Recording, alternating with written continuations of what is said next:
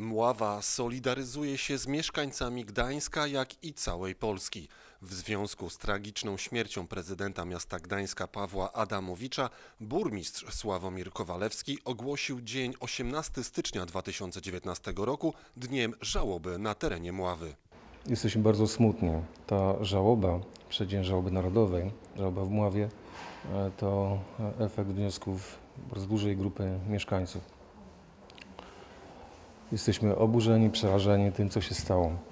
E, Bardzo mocno zasmuceni tym, że w wyniku odniesionych obrażeń, ran, pan prezydent e, zmarł. Na czas żałoby na budynkach zajmowanych przez Urząd Miasta Mława oraz miejskie jednostki organizacyjne opuszczono do połowy masztu flagi miasta Mławy. Wszystkie flagi miejskie opuszczone są do połowy masztu bądź opatrzone kirem.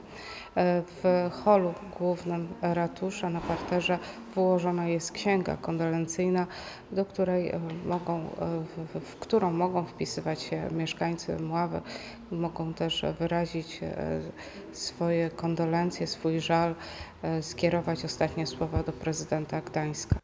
Wpis do księgi kondolencyjnej pamięci prezydenta miasta Gdańska Pawła Adamowicza można było dokonać przez cały piątek w godzinach pracy ratusza. Jako pierwszy wpisał się włodarz Mławy, później słowa pożegnania i refleksje umieszczali mieszkańcy. Chcemy w taki materialny sposób dać wyraz e, swoich myśli, e, uczuć poprzez wpisy do tej księgi. Kilka minut temu wpisałem to, co czuję, to, że wyrażam swój żal, smutek i składam kondolencje rodzinie, przyjaciołom i gdańszczanom. W tym tygodniu księga kondolencyjna pamięci prezydenta Pawła Adamowicza zostanie przekazana do Urzędu Miasta w Gdańsku.